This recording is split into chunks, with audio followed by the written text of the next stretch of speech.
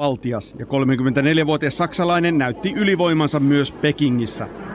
Kaisenberger otti jo viidennen olympiakultansa ja maalialueella liehuivat Saksan liput.